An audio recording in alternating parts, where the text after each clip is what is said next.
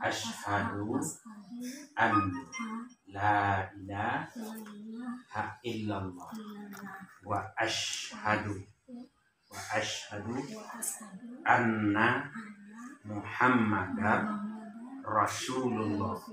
Nah, aku bersaksi bahwa tiada Tuhan kecuali Allah dan bahwasanya Muhammad adalah utusan Allah. Nah, jadi Ibu Ina harus yakin kalau sudah mengucapkan itu nanti bahwa Tuhan kita cuma satu. Nah, rasa satu yaitu Allah. Nah, kul bukan malah itu tak boleh ribuan. Kul wallahu ahad. Katakanlah oleh kaum Muhammad bahwa Allah itu satu. Nah, ya, dua ada tiga lagi kan? Nah, jadi kalau ibu masuk dengan mengucapkan dua kesadaran nanti, nah, jadi nah, masuk Allah itu itu satu cuma. kalau jilbab alhamdulillah itu dari SMP dari SMP itu udah memilih untuk pakai jilbab nah waktu SMA itu tetap pakai jilbab juga nah jadi waktu itu waktu kelas 1 kelas 1 cuma yang pakai jilbab masih yang ya gitu seadanya lah gitu formalitas. Terus beranjak kelas 2 itu udah mulai-mulai mencari tahu. Nah dari sana juga udah mulai ditegur sama abang karena abang kan waktu itu kondisinya udah mualaf udah Islam. Jadi abang bilang e, kalau kamu mau berhijab itu jangan bikin malu agama orang lain katanya. E, ketahui fungsi jilbab itu apa. Kalau kamu kayak gini kamu sama aja menjelekkan agama orang lain. Nah dari sana mulai belajar buat uh, awalnya pakai jilbab yang agak dalam yang lebih tertutup gitu. Kelas 3 itu mulai uh, ya mulailah di maksudnya dapat kayak yang uh, lebih memilih kayak yang biasa kan waktu dari kelas 2 itu masih kalau pakai jilbab cuma sebatas sekolah atau misalnya ke rumah temen dan itu pun lihat temennya kalau ke rumah guru ini keluarganya gimana sama agama kalau uh, biasa aja nggak pakai. Tapi kalau misalnya keluarganya agamanya kuat baru pakai gitu. Kelas 3 udah mutusin buat yang kalau ke, ke rumah teman ke mana-mana pun pokoknya keluar rumah pergi main dah pakai jilbab juga gitu jadi waktu kelas 3 sempat ditanyain sama guru-guru gitu. Jadi pernah sempat deket sama guru. Gurunya nanya e, kenapa nggak masuk aja? Katanya atau niatnya udah ada.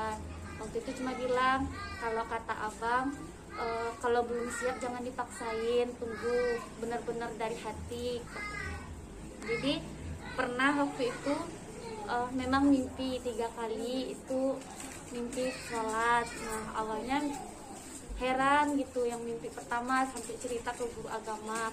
Guru agamanya juga kaget nggak bisa ngartiin tapi guru agamanya bilang semoga aja uh, dapat hidayah secepatnya.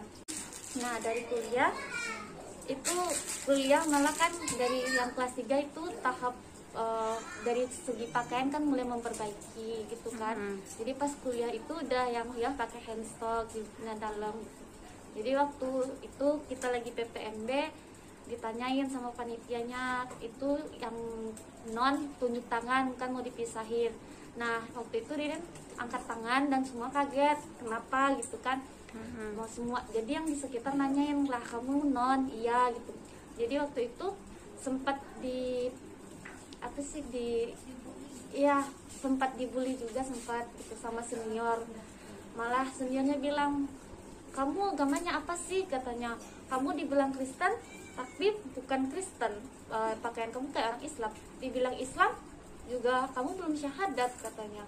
Terus dia bilang kamu pernah mikir nggak kalau nanti kamu mati kamu mau dikuburin kayak apa? Gitu.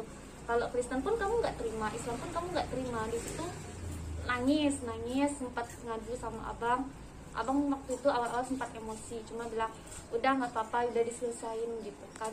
Jadi akhirnya uh, waktu itu uh, komting komting uh, dia ternyata uh, lulusan pesantren. Nah dia dia sempat itu WA eh, malamnya nanyain eh, itu eh, dia nanya maaf eh, kamu beneran Kristen? Iya katanya. Nanya punya niat enggak katanya. Punya. Kenapa nggak disegerakan? Kalau misalnya mau aku bisa bantu katanya. Aku udah nanya sama guru aku bisa kok boleh mem- membantu seseorang untuk melafazkan syahadat katanya.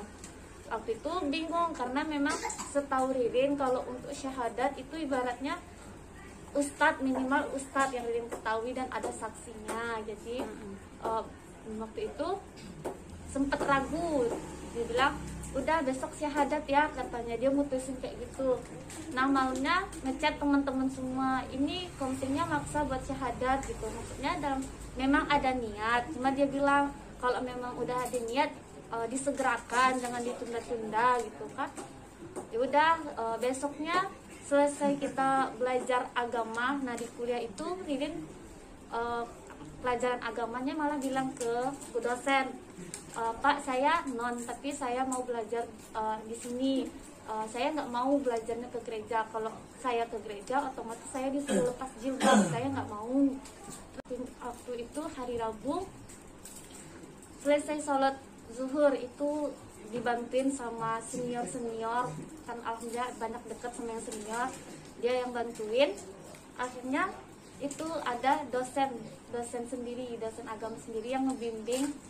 Ya gitu awalnya memang yang itu diam-diam nggak ngabarin. Abang pun ditelepon sama teman bang ini loh Ririn mau syahadat. Abang kaget langsung ke kampus dan itu bilang ke mama nganterin buku mah gitu kan. Itu tahun berapa? tahun 2018 terus waktu itu mama emang nggak tahu gitu pernah sempat ditentang sama mama. Mama bahas eh, pernah nyuruh balik lagi karena mama bilang eh, penyebab papa makin drop itu karena Ridin mualaf. Itu sempat nangis. Dulu dulu sempat mama bilang beranggapan eh, emang kalau kamu mualaf kamu bakal sama yang si dia. Maksudnya kan dulu pastinya temen deket gitu. Terus itu waktu itu ada yang bilang kalau dia eh, kalau kakak mualaf karena seseorang lebih baik dia pindah saat dia akan menikah. Ini eh, kita nggak bisa eh, mengklaim kalau kakak itu pindah karena seseorang. Biarkan kata jadi abang dulu juga sempat ngedukung. Nah awal awalnya itu emang eh, apa sih renggang sih sama mama gitu. Cuma kayak yang eh, akhirnya lambat laun itu Ririn sholat eh, numpang ke rumah tetangga. Jadi setelah itu mama bilang kamu ngapain ke rumah tetangga? Katanya kan sampai subuh itu sampai gedor-gedor rumah eh, tetangga. Kak misi mau sholat gitu kan.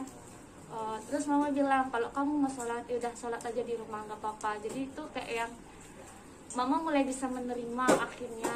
Dan kadang eh, kalau misalnya Ririn eh, lupa atau gimana kayak yang di rumah suka eh, lepas jilbab atau pakaiannya yang kurang sopan malah sering diingetin mama bilang kamu kalau keluar jilbabnya dalam apa segala macam tapi kalau di rumah kamu kayak gini. Jadi kayak yang Ririn, Ririn tuh misalnya ternyata mama tuh masih peduli maksudnya mama beda dan mama masih ingetin kalau yang ini salah gitu kalau sesuai agama kamu nggak gini gitu. Akhirnya emang mama ngedukung sam- sampai saat ini. Ya alhamdulillah gitu